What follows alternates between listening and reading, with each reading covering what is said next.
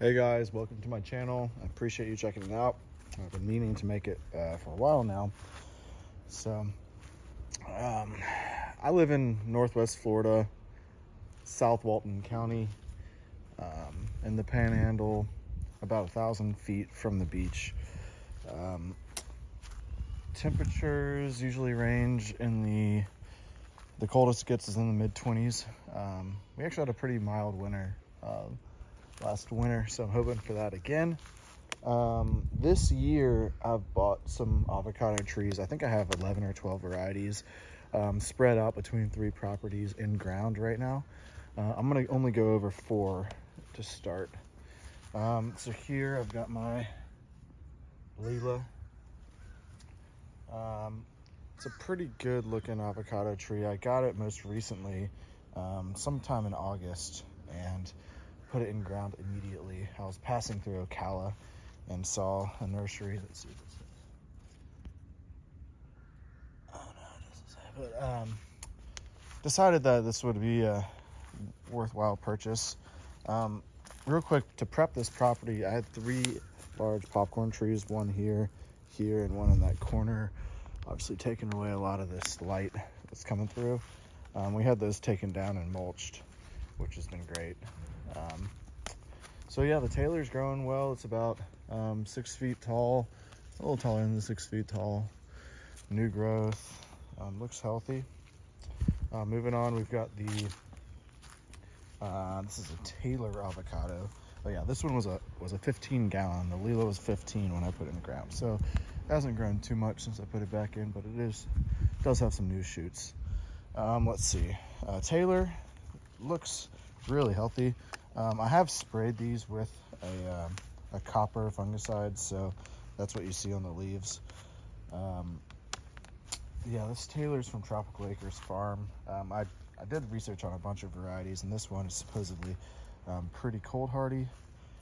I'm really pleased with the, the structure, the branching, and really just everything about this tree specifically. Um, it's been ground, like I said, from a three gallon container uh, let's see, uh, summer, I think April of this year. So it's, it's grown quite a bit, um, you know, quite a bit since I put it in ground. Here is the Brogdon. This one's been in the ground the most. It's about a little over five feet tall. Really healthy. Loving all this mulch. I've got about a foot and a half of mulch over here. I mean, over mulched. But um, it's really healthy. It was a three gallon when I put it in, probably, you know, up to here when I when I put it in ground. And um, it's grown quite a bit. Trunk is, you know, pretty big. Um, this is a, a day. I actually had this one um, where the Lila was but decided to um, to move it to a pot until I find a new home for it. Um, looks pretty healthy as well. I just got this Mexicola in the mail a couple days ago, so it's uh, just got put in its new home, and uh, we'll see how it goes. Um, here I've got some seedlings that I started and, and grafted onto. I, did, I probably did 10 grafts, only four took. I'm still learning how to do these, but let's see if I can focus on this. My shadow's in the way.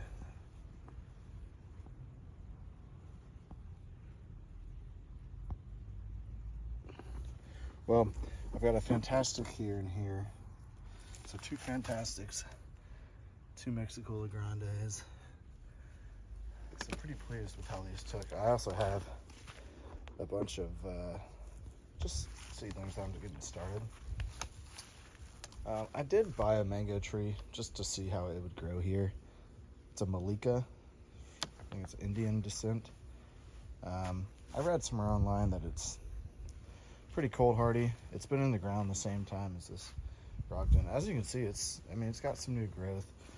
Ever since I had it in the ground, it, uh, these tips were burning and I read online and heard that it was from salt if anyone wants to hop in here and help me out, um, that would be great. You can see how, it gets pretty dark on, I don't know if that's normal or not. Um, it did fruit last year and had a lot of little avocados, made it to a little bigger than pea shaped or pea sized and um, ended up falling off. Well, um, again, I don't know if this darkening is, is normal and I just noticed this one leaf. Let's see if this is it now. Um, those pea, the pea-shaped or pea-sized um, mangoes ended up falling off and turning black. Anything, anyone want to help me out here? Um, not sure what that is. Um, but I will take any tips on, on any of my trees. Um, I've got a nectarine here. This is a sun glow. I believe, yeah, sun glow nectarine. This is a Florida gold peach or June gold peach. Um, so overall, pretty pleased. You can see the rest of the yard, how pretty these trees are. Um, I'm really excited for this project in this in this corner. Um, I just had another um, water oak tree removed. I don't remove any live or sand oak trees, but um, removed this water oak here, mulched it, and definitely going to put another tree in ground, give it some space from these other ones here. Um, it has its own little microclimate. It's got, this is a south facing wall, so it gets a lot of sun. I'm going to get my neighbor, just, we're going to redo this wall, but um, a lot of wind blockage here. We got the shed over here, also blocks a lot of wind, so I think this is going to be a primo spot for a variety that might not thrive in 9A, but I think we can actually do, do well in this spot. Just ran irrigation here all the way along this uh, east facing wall. Um, I do plan on doing a no-till garden here. Um, square it off, probably, I don't know, maybe 25 feet long by 20 feet wide. It's just a little square. Um, and do a no-till garden, get it started in the winter and ready for for spring planting. Um,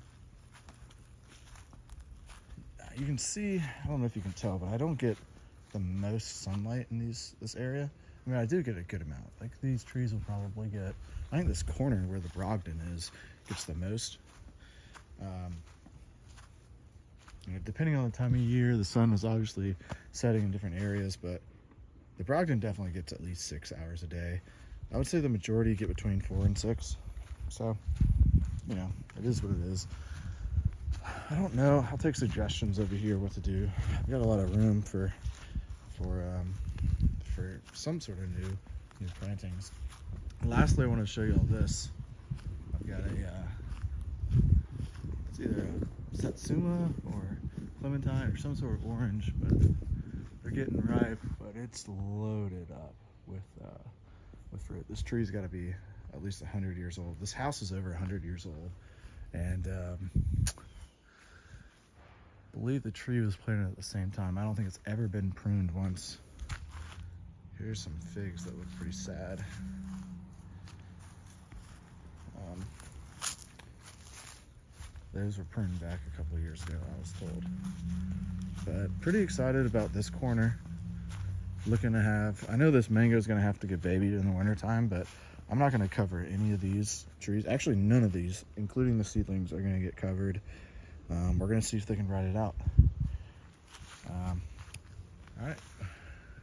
Please uh, leave some questions, comments. I mean, I'm just trying to learn. Um, follow a lot of really helpful people on here, so I'm looking forward to the input. All right.